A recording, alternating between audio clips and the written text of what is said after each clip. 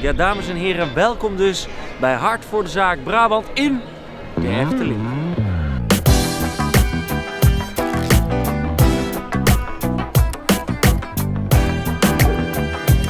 Hoe je eigenlijk van die storytelling naar de storytelling was. Er was eens die mooie gruiterwinkel.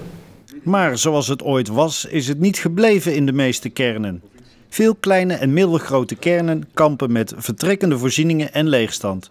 Reden voor de provincie Noord-Brabant om ruim een jaar geleden met vier praktijken de zoektocht te starten naar een antwoord op de vraag: hoe zorgen we weer voor een kloppend hart in onze centra?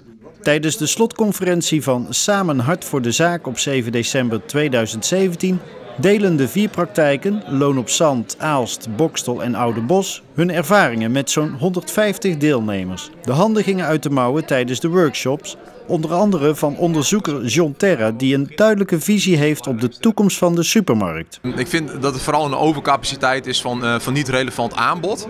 En uh, als retailer in slaagt om, uh, om hun aanbod relevant te maken, en dat vind ik leuk of, of makkelijker, dan hoeft er helemaal geen sprake te zijn van, van een grote overcapaciteit De inzichten zijn dat je inderdaad de kern van je dorp van je winkelgebied, dat je dat niet alleen maar aan de retailers moet laten. Dat het ook niet in het belang van de retail zelf is.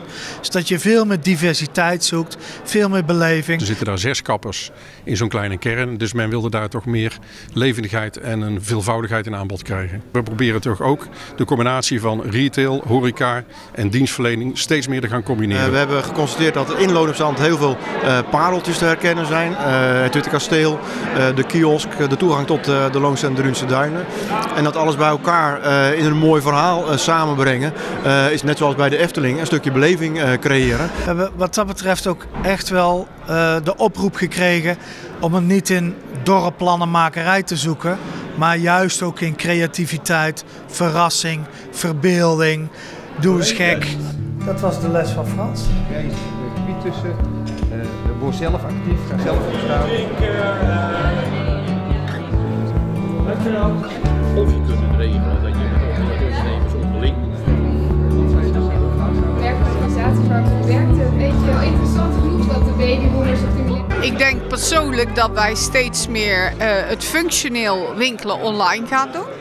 En het beleven, het plezier maken, het dagje uit, moeten combineren met een winkelcentrum. Dat vraagt van vastgoed continu innoveren en investeren. En dat zijn we niet gewend in vastgoed. Oké, er zijn problemen, dingen gaan misschien niet goed, maar dat, daar zit ook altijd een, een kans dingetje in. Er is dus iets wat beter kan en iets wat positiever kan en waar je wat mogelijkheden biedt om misschien een keer iets nieuws en gedurfd te doen.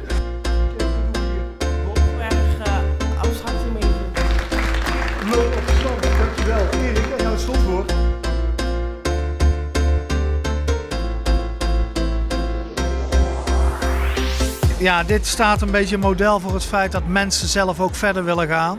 Ze hebben die mand gevuld met een hoop inspiratie waar wij ook mee doorgaan.